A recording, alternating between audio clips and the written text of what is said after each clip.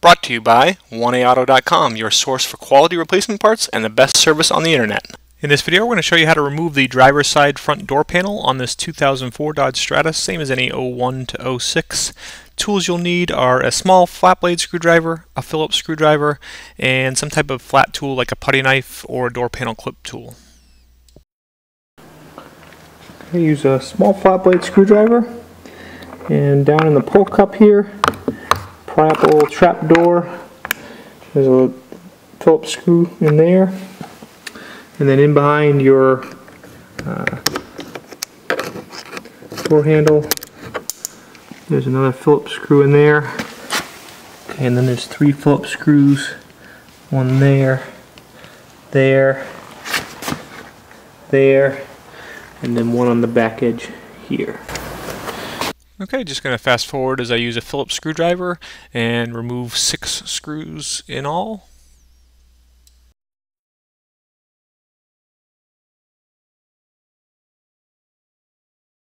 Okay, this triangle up here can just pull out. Uh, little all you need is a uh, putty knife.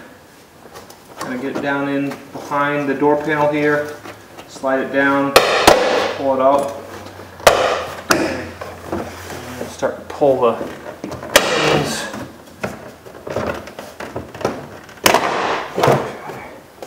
And then the door panel comes up. Right here is your lock harness. The little button, press on that, disconnect. Okay, on your latch rod, there's a clip.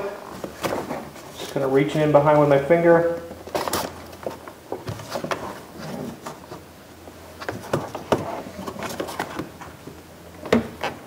Pull that clip off, and the rod comes up and off. And then lastly, down here, lastly down here is your window um, harness. There's a button right in the middle you really got to push that button and then work the harness out. Okay, and your door panel's off. Once your door panel's off, you want to check these aqua clip pins here because there could be pins stuck inside them.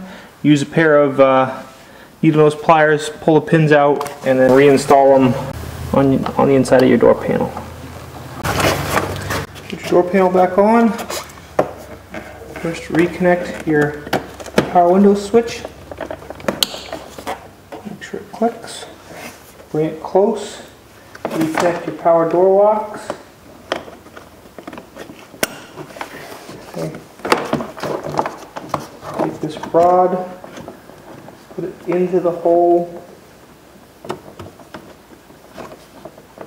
and slip the clip right around, flip it on.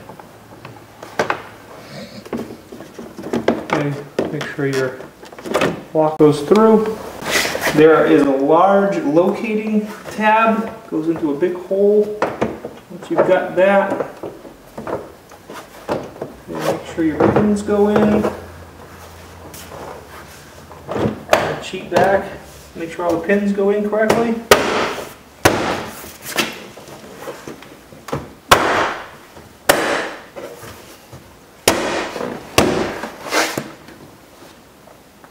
Now it's just a matter of replacing all the Phillips screws. Okay, so we'll speed up as we replace all those screws. And there was one down in the door cup behind the door panel, uh, three at the bottom, and then one at the back.